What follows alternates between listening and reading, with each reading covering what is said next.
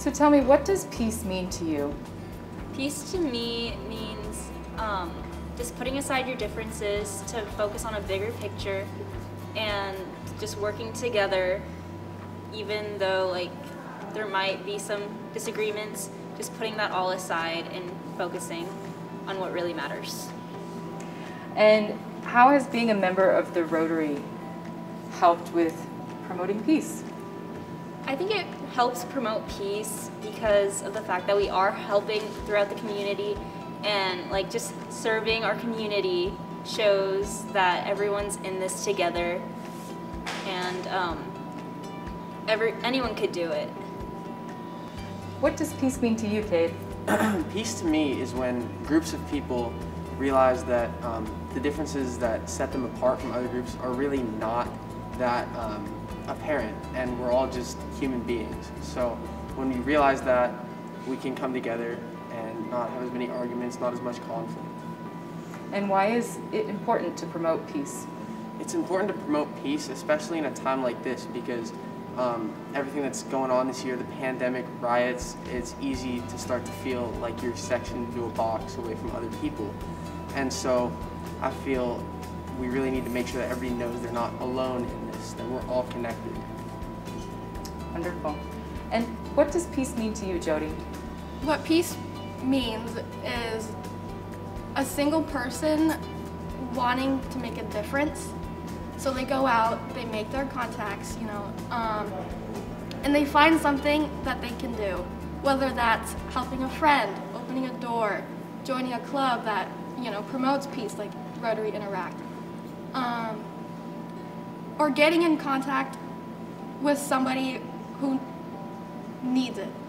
Um, I've seen a lot of different things online because that's kind of one way of how we've been in contact with everybody online and you know they're sharing posts of helping others or quotes of motivation and to me that's peace.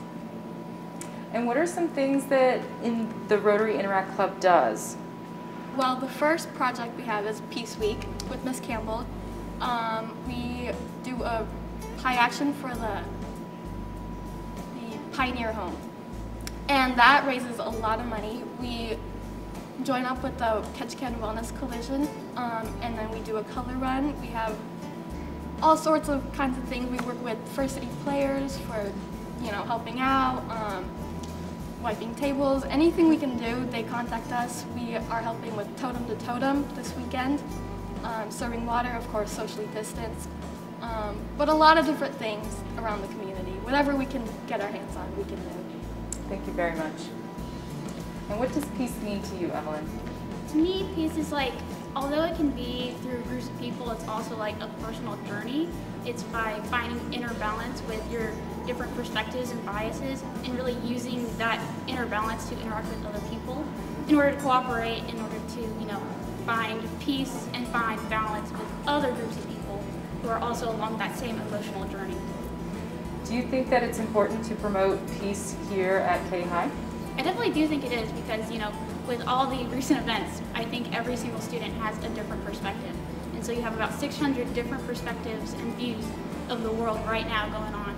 And the only way that we're all going to be able to get through this and, you know, stay in school, as our new motto is, is by, you know, really finding that inner balance within ourselves in order to talk and interact with other students and I think that's just important because, you know, we're going to have so much conflict here in the school if we can't find that inner peace within ourselves to really be able to talk to other people and maintain composure when it comes to these harsher um, topics that we're talking about.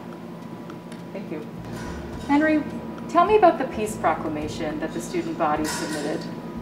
Well, the, pre, uh, the peace proclamation is basically just the way of the students saying that they are advocates of peace. And as SBA leader, it's showing that SBA and the people that lead the community is supporting the idea of advocating for peace. And so by making this proclamation and giving it to um, you know, the city and the borough and the school board, uh, it's basically a way of showing that all the leaders in Ketchikan advocate for peace. So it starts with the students who are the ones who get going, as you can see with Rotary, and then we just push it along and we give it to uh, you know the city on September 21st. And basically, at that point, they'll be saying that they agree with us and that they want to advocate for peace.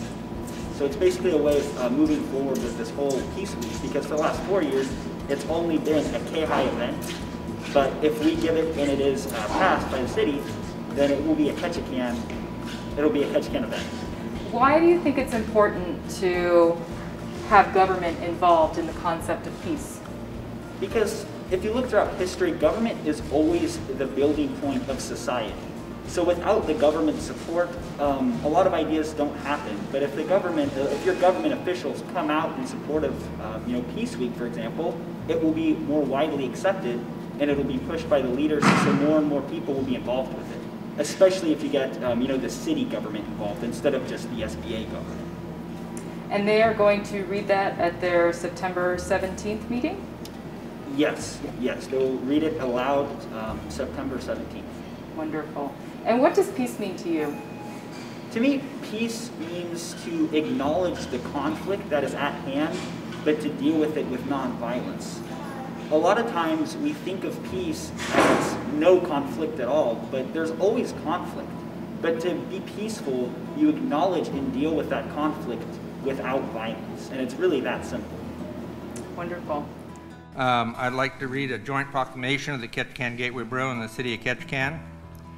Whereas the issue of peace embraces the deepest hopes of all people and remains humanity guiding inspiration, and whereas in 1981, the United Nations proclaimed the International Day of Peace by devoted to commemorating and strengthening the ideas of peace both within and among all nations and people.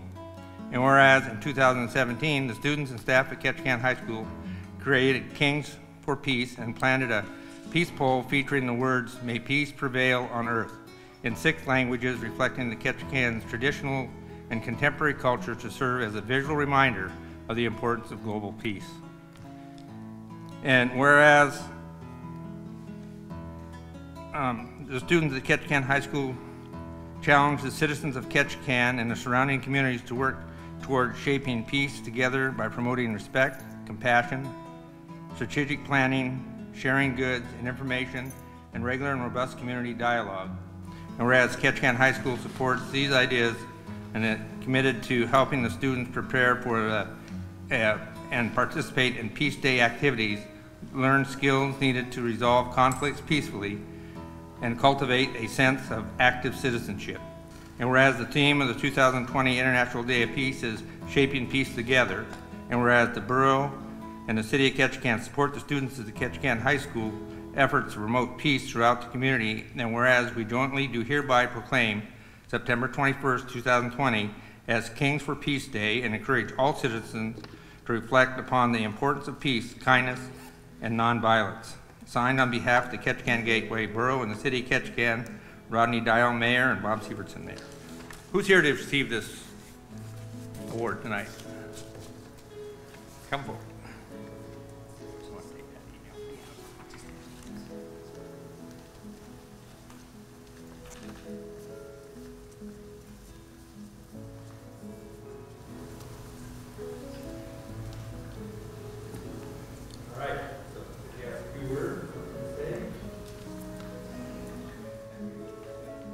Uh, yeah, on behalf of KHI SBA and K as a whole, uh, we really thank you all for signing this and appreciating this. It's uh, something that we've been working forward to for a long time. And it's really nice for all of the community to accept the same kind of ideal as the students, as for peace, you know?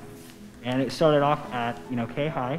And it started with the students being peaceful towards each other, but especially during this, uh, you know, interesting time in American history, it's really important for such a simple concept to be taken and really uh, stretched out far as we can go with being peaceful and respecting one another. So thank you guys very much for this. All, all of K High thanks you. Thank you. And on behalf of K-High Rotary Interact, I would also like to thank you guys for this honor. Um, as you know, the motto for this year is Shaping Peace Together, and there will be an event at Saturday down at Berth 4 where uh, we Rotary will be selling uh, tie-dye masks, and the proceeds to that will go to a charitable organization. Thank you guys. Thank you. That it? All right. Well, thank you guys very much for coming.